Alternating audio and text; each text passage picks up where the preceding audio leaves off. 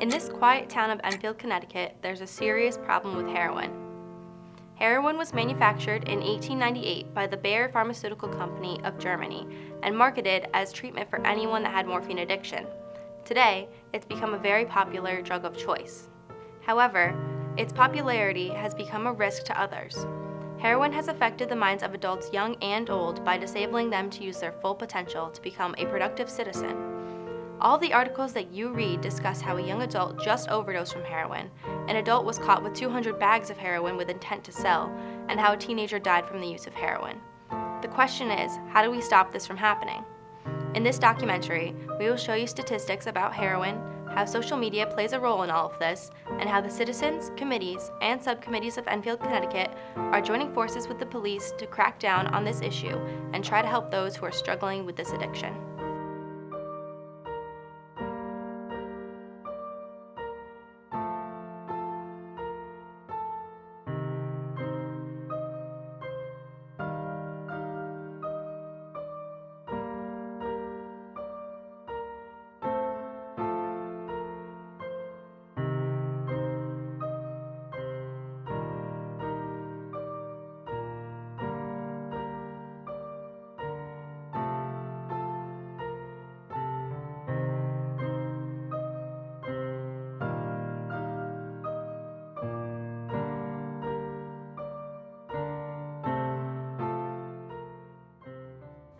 ETC was established in about 2001. Um, we received some state funding in about 2009, um, and then we went after the federal drug-free communities grant um, and was awarded that in 2012. We are about to go into year five of that grant. We actually um, started meeting as the North Central Opiate Addiction Task Force in March of this year. Um, we have been meeting every single month, so we met in March, April, May, and June. Um, starting in July, we moved into subcommittees. So we have an enforcement subcommittee, a treatment and recovery subcommittee, and a prevention subcommittee. The Enfield Together Coalition has continued to meet also um, because we focus on other drugs besides just opiates. So we focus on marijuana, prescription drugs, and alcohol. Um, so we've continued to meet on a monthly basis also.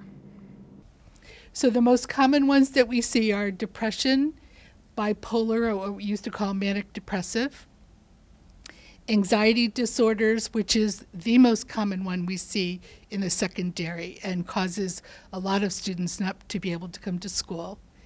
Um, eating disorders, uh, substance abuse, self injury, and the attention deficit and hyperactivity.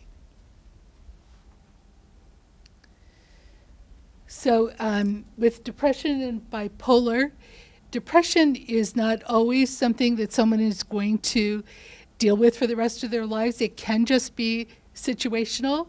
They can have a clinical depression. We see that, unfortunately, in our secondary students, especially that have gone through like a really bad bout with mono. Something like that will cause a clinical or a chemical imbalance to happen. As always, we see sadness, anger, violence, different rebellious acts. Truancy is certainly a big one. And then with the bipolar or like I said before, what we used to call manic depressive. We're seeing the mood swings, the rapid or mixed cycling, and these are people that are at much higher risk of suicide. We do vary our presentations or meetings every um, every time. So sometimes we focus on a specific substance, sometimes we focus on a specific issue. Um, this one being that we're informing and educating the community on what our, our youth are telling us. We hold most of our meetings here at the Town Hall. Um, our larger meetings are down in the Enfield Room. Um, the large uh, North Central Opiate Addiction Task Force meetings are here in the um, Town Council chambers. And some of our other small um, subcommittee meetings, such as the enforcement um, that we have on, on the ETC, we hold at the Country Diner. Um, we try to come out, go out into the community to, you know, engage other people and make it as convenient as possible for other community members who are involved in the coalition.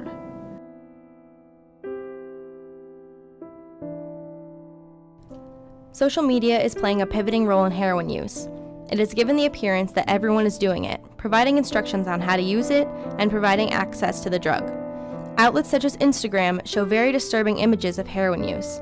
Instagram allows you to post photos and videos for all of your friends and family to see.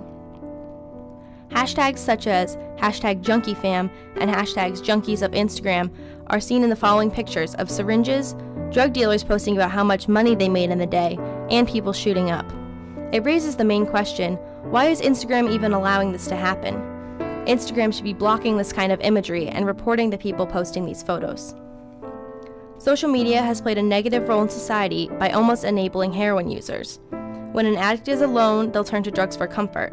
They'll post these disturbing kinds of photos online to fill the loneliness that they are feeling. Technology keeps growing every single day. Everything is becoming a lot easier to access, making drugs easier to obtain.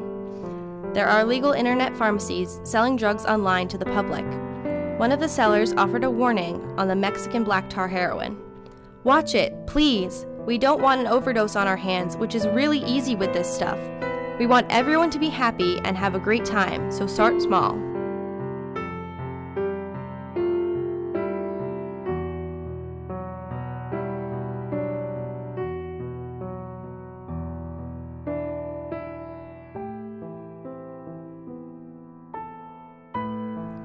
In 14 months, the Enfield Police Department have charged 50 people with felony drug charges after cracking down on this issue in town. Seven people have been arrested, two of them from Enfield, Connecticut. I think heroin is widely abused nationwide, especially here in Connecticut. And I think the reason for it, first and foremost, is the, the people that uh, sell this poison to our children have come up with a way to make it affordable. And um, it isn't like the old days where you had to inject it by needle. Now you can sniff it. You go up to Hartford and buy it for $5 a bag. It looks like it's innocent, affordable. People use it, they get hooked on it, and it's very difficult to rid yourself once you're addicted. So um, that's one of the reasons. I think another reason is a lot of our uh, people that are using heroin got started with legitimate prescription medication from doctors. Uh, they're prescribing pain medication, oxycodone, things like that. When the doctor says no more of that, people get used to it. They want to feel that rush, that sense of high. So they go to Hartford or Springfield, pick up a bag for three, five bucks. It replaces what they thought the heroin would do, and before you know it, they're hooked. When you see someone in, in this state, that's a, a pretty high level of heroin or, or opiate in their system. Someone that takes uh, the doctor prescribed painkiller, that's not going to affect you like that. That's that's a pretty high level in that person to to make it that bad. Mm-hmm. You're, go ahead. I mean, this is very, very high high tolerance that, that he has, and he has a lot on board in his system. So, is your question more? Did the hospital cause this? But if you but if you leave if you if you leave the hospital Yeah. and if you've been given something and then you leave and you go out and you pick up heroin on the Sure. you know on the street, then you have that much more. Sure. Yep. That, that was Yep. Well, we we will sit. I'm going to jump in real Nope. quick. Please Um, do. There's two times that we that we typically find heroin overdoses what, that we respond to. One is when there's bad heroin, meaning, like I said before, there's fentanyl mixed in with it because they don't know exactly what they're getting. The other time that we go out for these people that are down and just about dead is when people go to rehab and they get out. Um, they they stay clean in rehab. They may go two three months. When they go back to use, they use the same amount that they use because that's all they know. They use the same amount that they were using when they went in. In 14 months, the Enfield Police Department have charged 50 people with felony drug charges after cracking down on this issue in town. Seven people have been arrested, two of them from Enfield, Connecticut. Well, certainly the most important side effect that we see or the, the consequences is the loss of life, which is the most uh, tragic event. Um, not only for the person that loses his life, but those folks all have uh, brothers and sisters, mom and dad, so that's certainly the number one. Um, their life becomes obsessed with possessing the drug, getting the money for the drug. That's all they think about, that's all they do. And when they can't come up with the money, it motivates them to commit uh, very stupid, violent crimes, uh, armed robberies of gas stations, convenience stores, and just to get enough money where they can buy their next fix of heroin, and then the next day they've got to find another way to come up with that money. And unfortunately, it's always a criminal way. So I think those are all consequences of heroin use. According to the School Health Survey report, in 2005, 4.3 of students had used heroin. In 2015, there have been 416 heroin related deaths. The number of people dying in Connecticut from drug overdoses continues to skyrocket. In 2015, more than 720 people overdosed, with heroin related deaths climbing at alarming rates, according to statistics by the State Officer of the Chief Medical Examiner.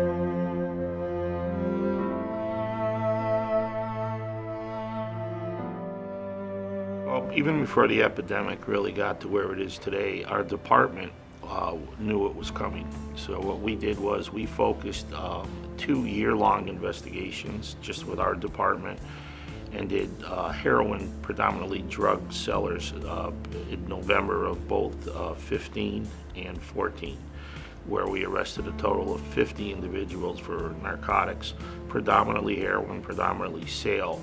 Uh, we made really good cases, strong cases. A lot of those folks are serving time in prison now. But we also recognize as soon as we put a few people in prison, because of the opportunity to make so much money, there's so many more people willing to take their spot. We also recognized early on that a lot of our investigations didn't stop at the town line. They, they led us to Windsor Locks and East Windsor. So I reached out to the chiefs of East Windsor, Windsor Locks, and originally Suffield, and we created the North Central Regional Narcotics Task Force. So the Enfield Police has officers assigned to it. We work in that unit with East Windsor officers and Windsor Locks officers. And we focus on the drug trade, specifically heroin and sale, not only in Enfield, but the surrounding towns. Because we realized that if we just did it in our town, it didn't stop our residents from going to Windsor Locks or East Windsor. So uh, by working in conjunction with the other towns and sharing the resources, uh, we've been very successful in making heroin arrests, not only in Enfield, but the surrounding towns. And if we can continue to keep up that type of enforcement, it makes it harder for the drug dealers in north central Connecticut. And we push them out of our region and um, keep the focus up. And that's what we've done. It's been successful. It's a new program. It's only been running three months. But so far, it's uh, done beyond expectations. So we're very happy with it. We do have the Enfield Together Coalition, and we also um, are running the North Central Opioid Addiction Task Force. Um, both we really emphasize prevention. Um, so our message to the community is that if we, you know, prolong the onset of youth using any substance, whether that be alcohol, marijuana, or prescription medication, um, if we can prolong that as long as possible, they're less likely to become dependent of that substance.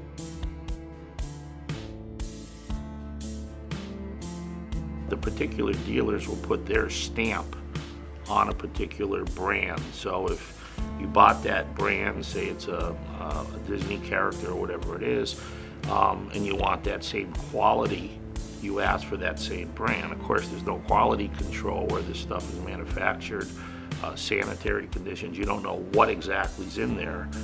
And certainly the drug dealer is concerned with one thing only, how do I maximize my profit? So whether he's mixing that heroin with fentanyl, which is a very powerful drug by itself, um, is leading to a lot of the deaths that you're seeing across the state. There are about 2,000 drug overdose deaths in Connecticut between 2012 and 2015. The 723 deaths last year were more than twice the number from three years ago, most resulting from heroin, cocaine, or other drugs such as morphine. We have some flyers and handouts and giveaways and outreach with providing information to the community. Um, and then building and enhancing skills.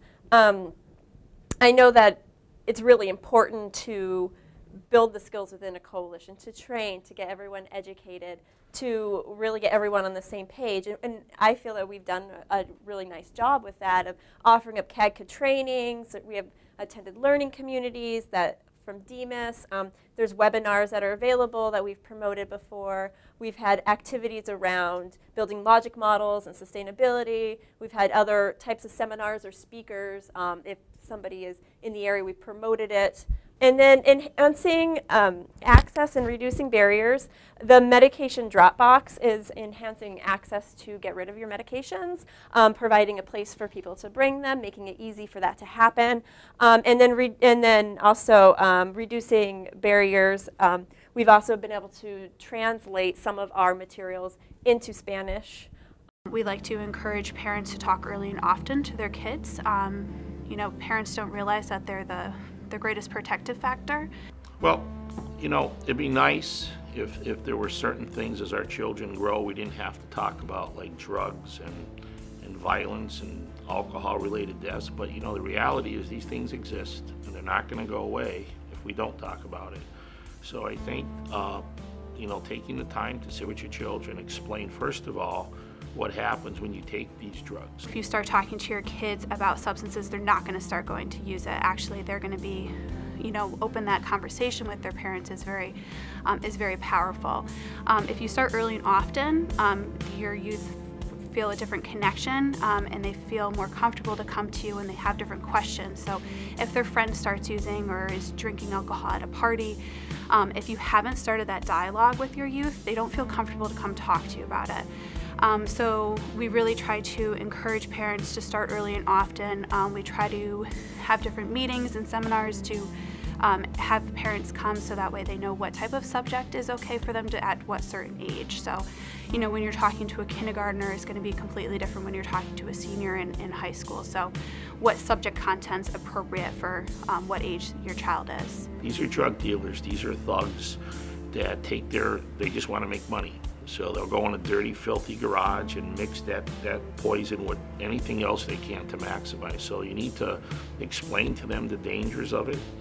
And I think most importantly, when we're talking about heroin, it's not uh, like drinking a beer or something. Uh, people, many, many people report using it one time and they're hooked. And it's very difficult to really think about anything in life that you can do once and not ever stop. But heroin is one of those things. And I think you point out the, the medical problems, the, the, your health issues, the overdose issues, and not to mention then how uh, everything else goes south your job, your relationships, your friends, and you focus solely on getting the money, no matter how you're going to do it, to feed that habit. So you're going to end up um, dead or in jail. Those are your two choices. So that conversation needs to be had early. Um, some people suggest if we have that conversation, we're putting the idea in the heads of the kids, and the truth is, if you don't have that conversation, they're going to have it out on the street with their friends. They're going to see it on television, in the movies, and um, I think you need to have that with them. The sooner, the better, and uh, hopefully they'll make the right decision. A new drug law passed in 2016, PA 1643, will take effect this October. This will limit the amount of opioid drugs that can be prescribed by a practitioner, seven day supply for minor or first time for adult. The town of Enfield, Connecticut continues to establish volunteer groups and rehabilitation centers for those with addiction problems. The citizens are coming together to put an end to the heroin epidemic in this town by coordinating with committee groups and police officers to establish drop boxes, subcommittee groups, and drug takebacks. The Enfield Together Coalition continues to get involved with committees by having meetings on this issue. Parents need to continue to set an example for their kids by educating them on the dangers of drugs. It all starts with parents being the role models in their kids' lives. It's not going to be easy, but if we continue coming up with strategies to decrease the heroin usage in Enfield, Connecticut, then we can really make a huge difference in this town.